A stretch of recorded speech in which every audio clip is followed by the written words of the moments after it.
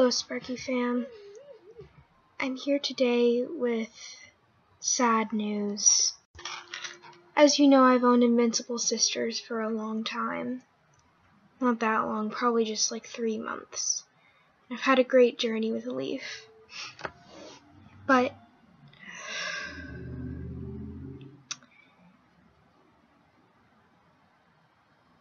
there's something we have to tell you.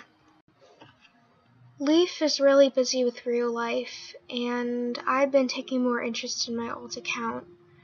And we think that since we're not equipped to handle a full club and not active enough, we think that it's in our best interest to disband.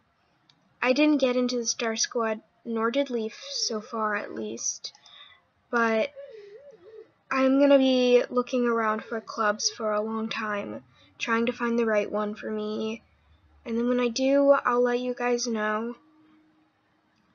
But yes, this means that we have to disband because we're just not really ready to own a club and we don't want our members to have a sad experience like this and to not have actors owner active owner and co-owner I, am trying to say not have inactive owner and co-owner oh my goodness so we're here today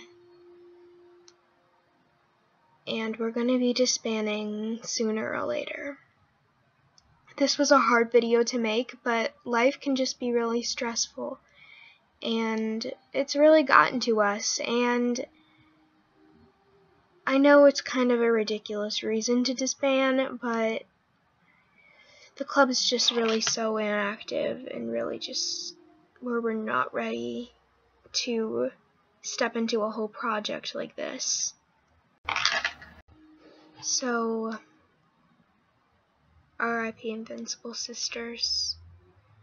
We're going to be going back to it sometime, hopefully, but we're not ready right now.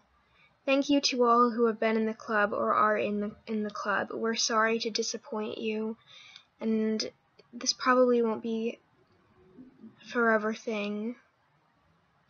Leaf is saying hi to you guys. This is a sad day.